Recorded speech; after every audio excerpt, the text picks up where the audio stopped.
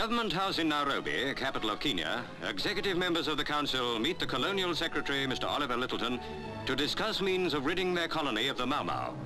For in this land, there is fear of those fanatical natives who aim to drive out the white man, and who have murdered many who stood in their path. Mr. Lyttleton visits the people who live in their dark shadow, and from Chief Njiri hears how his two fellow chieftains were killed by the terrorists. Mr. Lyttleton learns of the Mau Mau's threats on the lives of Catholic missionaries. And in the Nyanza province, he talks with elders of the Kikuyu tribe, from which the Mau Mau drew hundreds of recruits, many of whom have now been arrested. Britain has brought much good to Kenya. Her standards of living are growing still higher as more of her people learn the lessons that the white man has to teach.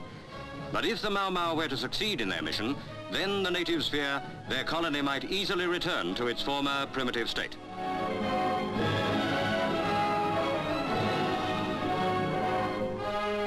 Continuing his tour to Mumias, the Colonial Secretary is presented with a hand-carved stool as the natives' token of appreciation that the British people are deeply concerned with their troubles.